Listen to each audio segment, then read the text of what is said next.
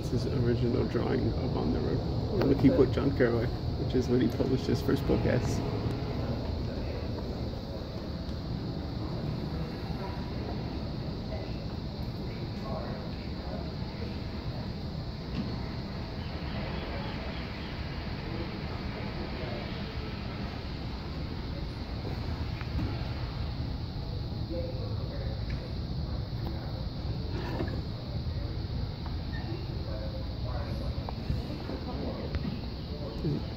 Cool.